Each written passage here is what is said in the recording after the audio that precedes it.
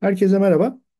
Bugünkü yazımızın başlığı "İş aramayın, iş sizi bulsun" şeklinde ilginç bir başlık. İş başvurularına yönelik geleneksel yaklaşım artık işe yaramıyor. Dünya evrimleşti ve siz de evrimleşmelisiniz diye bir giriş yapmışlar. Oldukça ilginç ve ilham verici. Bu yüzden bu yazıyı bugün paylaşmak istiyorum sizinle. En son ne zaman iş aramaya çıktığınızı hatır- hatırlıyor musunuz? Şu anda iş arıyorsanız bir görüşme çağrısı almanın ne kadar zor olduğunu bilirsiniz. Eminim LinkedIn'den takip ediyorsunuz. İşte pek çok kişi başvurduğunu, pek çok yere fakat cevap bile alamadığını söylüyor. Bu da e, sadece bizim ülkemizde değil demek ki dünya genelinde böyle bir durum olduğunun göstergesi. LinkedIn üzerinden başvuruda bulunduysanız İK'dan çağrı alma olasılığınız oldukça ya da daha düşüktür. Çünkü işe tek başınıza ya da siz tek başınıza başvurmadınız. Sizinle birlikte bin kişi diyor. Tabii çok daha fazla bir sayıyı kastediyor. Başvurdu. Şu anda çalışanların yüzde yetmişinin iş değişikliği aradığını biliyor muydunuz? Bu çerçevede oldukça fazla firmalara başvurular oluyor. Günümüzün kaotik iş piyasasında aktif bir şekilde iş aramanın geleneksel yolu artık başarıya giden yol değil. Yorulmadan onlarca pozisyona başvurmak yerine süreci tersine çevirip doğru fırsatların karşınıza çıkmasına e, çıkmasını pardon sağlarsanız değil mi, nasıl olurdu? Direkt karşınıza çıksa fırsatlar daha iyi olurdu. Bunun yolundan bahsedecek. İnsanlar binlerce yıl boyunca evrimleşti ve 1800'lerin sonlarında masa başı işler aramaya başladılar. Ve yaklaşımımız aynıydı. Şirkete gidiyoruz, özgeçmişimizi veriyoruz, teslim ediyoruz ve onlardan geri dönüş bekliyoruz. Bu süreç son zamanlarda çevrim içi hale geldi ancak temel olarak özü aynı kaldı. Ama bu kadar çok değişim yaşanırken bir sonraki işinize başlama sürecinizin de değişmesi gerekmez mi? Kişisel markalaşmanın, sosyal medyanın ve ağ oluşturmanın yani ilişki ağı oluşturmanın yükselişiyle işe alım uzmanlarının sizi aradığı bir sistem yaratmanız her zamankinden daha mümkün. Markanızı oluşturmaya zaman ayırarak, ağınızı güçlendirerek ve sabrın etkisinin etkisini göstermesine izin vererek yani sabırla sizin için doğru olan fırsatları kendinize çekebilirsiniz. Peki biraz daha detaya inelim. İş arama yaklaşımımızı neden değiştirmeliyiz diye başlık atılmış. Cevap oldukça basit. Örneğin yemek sipariş etme şeklimizi değiştirmedik mi? İşte Uber Foods'tan veya Zomato üzerinden. Türkiye'de tabii yok bunlar ama onun alternatifleri var elbette. Öğrenme şeklimizi değiştirdik. YouTube'dan videolar izliyoruz. Çalışma şeklimizi değiştirdik. İşte artık hibrit çalışıyoruz, uzaktan çalışıyoruz. Peki etrafımızdaki dünya bu kadar evrimleşirken neden iş arama şeklimizde değiştirmiyor, değiştirmeyelim?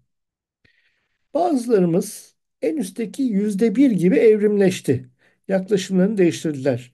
Ama değişmeyenler geri kalan insanlar. Şimdi aşağıya doğru iniyorum. Burada bakın Zomato'nun Hint yemeği dağıtım şirketiymiş. CEO'su bir açıklama yapmış. Aşağıda buradaki açıklamanın Türkçesi var tabii ki. İş arayan insanları biz işe almıyoruz. Çünkü ihtiyaç duyduğumuz insan tipi iş aramıyor zaten diyor.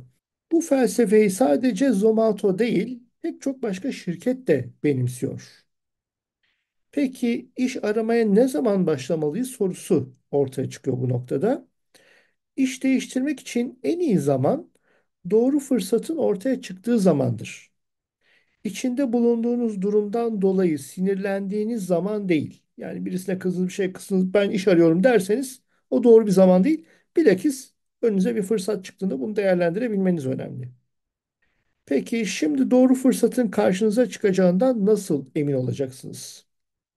Bunu daha önce yapmış kişilerle konuştuktan sonra cevabı dört maddeye indirmişler. Bu dört şeyi yapmak adayların işe alımcıları e, cezbetmesine yardımcı olur. Bu dört noktanın her birini detaylı olarak anlatalım.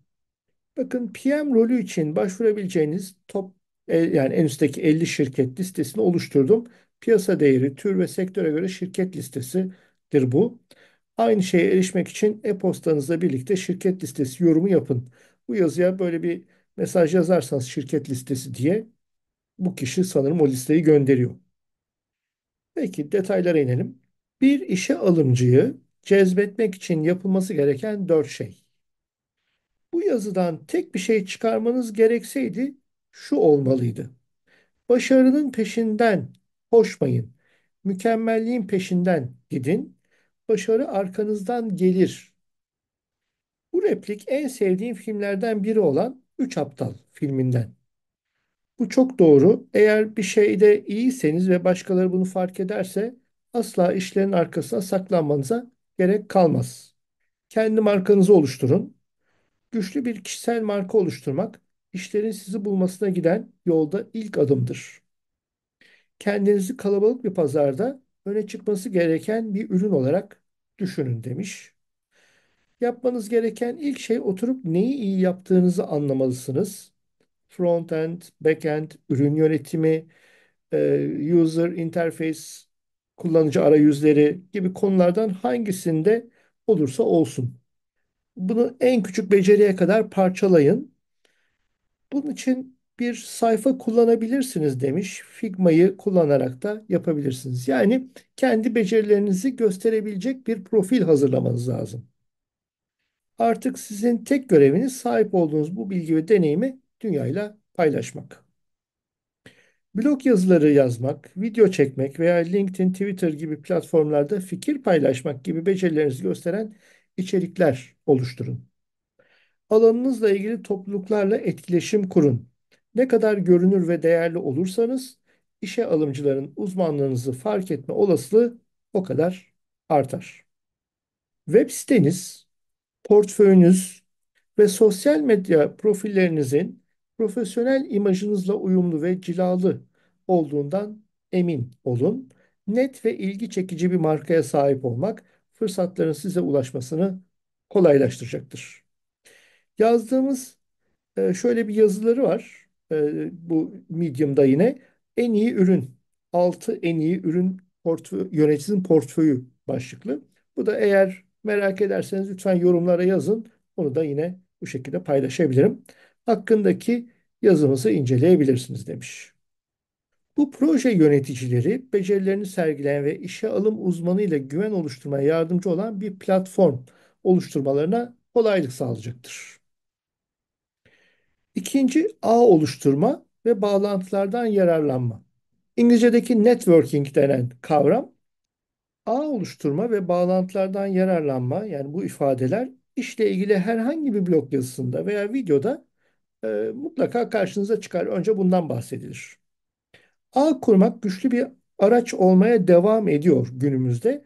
Ancak bu bağlamda iş istemekten çok gerçek uzun vadeli ilişkiler kurmak e, ile ilgili.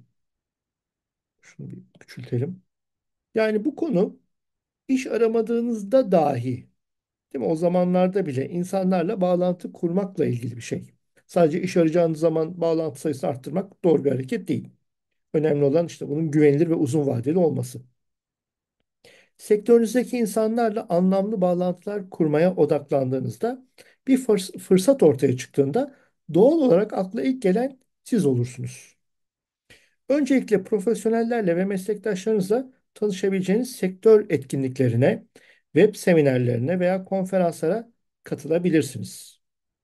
Bu ilişkileri iletişimde kalarak, mümkün olduğunda yardım teklif ederek ve ilgili içerikler paylaşarak sürdürmeye devam edin. Ağ kurmanın her zaman işlemsel olması gerekmez. Güçlü yönlerinizi bilen ve size kefil olabilecek insanlardan oluşan bir topluluk oluşturmak önemlidir veya ilgilidir. Unutmayın fırsatlar çoğunlukla geniş ağınızdaki insanlardan, hatta şu anda işe alım yapmayanlardan bile çıkabilir. Evet, biraz daha aşağı inelim. Üçüncü maddede işe alım uzmanlarının ve fırsatların size gelmesini sağlayın. Güçlü bir çevrim içi varlık oluşturup bir ağ kurduğunuzda işe alım uzmanlarının ve işe alım yöneticilerinin size gelmesine e, izin vermeye başlayabilirsiniz. İşe alım uzmanları profesyonel adayları becerilere ve sektördeki itibarlarına göre bulmak için sıklıkla LinkedIn ve diğer platformu kullanırlar. Bu nedenle profillerinizi aranabilirlik açısından optimize edin. Bu anahtar kelimelerle do- e, dolu bir biyografiye sahip olmak, başarıları listelemek ve alanınızda düşünce liderliği göstermek anlamına gelir. Angel List gibi iş panolarını veya web sitelerini kullanın ancak sadece başvuruda bulunmak yerine işe alım uzmanlarının profilinizi görmesine ve size ulaşmasına izin verin. Aktif olarak iş aramadığınızda bile profiliniz güncel olsun. Aşırı agresif olmadan yeni fırsatlara açık olduğunuzu hissettirin. Görünür olup değer yarattığınızda işe alım uzmanları niteliklerinize uyan pozisyonlar için size gelecektir. Uzmanlık alanınızı eklediğinizden emin olun. Böylece sizi potansiyel bir aday olarak tanımlayabilsinler. Sabır ve azim önemli. İşin sizi bulmasına izin vermeniz bir gecede tekliflerin yağacağı anlamına gelmez tabii ki. Bu sabır ve azim gerektiren uzun vadeli bir stratejidir. Bir marka ve ağ oluşturmak zaman ve emek gerektirir ve hemen gerçekleşmez. Sektörünüzde içerik üretmeye, ilişkileri beslemeye ve aktif kalmaya devam etmelisiniz. Fırsatların doğru zamanda geleceğini ve süreci aceleye getirmenin en uygun olmayan rolleri üstlenmenize neden olabileceğini unutmamalısınız. Sürecin kendisine güvenin, çabalarınızda istikrarlı olun, sonunda doğru fırsatlar karşınıza çıkacaktır. Yaşamak için bir mantra şudur, her zaman iş arayın gibi bir şey söylemiş. Bu artık sizin kararınız. Memnunsanız tabii niye hep iş arıyorsunuz? Mevcut fırsatın ne kadar iyi olduğu, mevcut işin ne kadar konforlu olduğu önemli değildir demiş. Bu sonu belki birazcık fazla olmuş. Peki devam ediyorum. Buraya kadar beğendiyseniz başka buna benzer yazıları da varmış. Mesela bir tanesi ürün yöneticisi mülakatına hazırlanmak için 10 adımlı kılavuz. Her ürün yöneticisinin bilmesi gereken User Experience, kullanıcı deneyimi yasaları hakkında temel kılavuzu diye bir yazıları varmış. Mühendislikten ürün yönetimine geçiş için basit bir kılavuz. Ürün yönetimi kararları nasıl alır diye bir yazı. 2024'te ürün yönetimi, değişime yön vermek ve kariyerinizde başarılı olmak diye başlıkları var. İlerleyen günlerde bunları da e, okumaya çalışacağım. Son düşünceler. Modern iş piyasasında fırsatları kovalamayı bırakıp onları kendinize çekmenizin zamanı geldi. Markanızı inşa ederek, ağınızı güçlendirerek ve görünürlüğünüzü arttırarak doğru işi bulabilirsiniz. İhtiyacınız olan tek şey biraz sabır, azim ve kariyer gelişiminize yönelik stratejik bir yaklaşım. İş aramayın, işin sizi aramasına izin verin. Evet, bugünlük de bu kadar. Umarım faydalı olmuştur, ilham verici olmuştur. Bir başka videoda tekrar görüşmek dileğiyle. Hoşçakalın.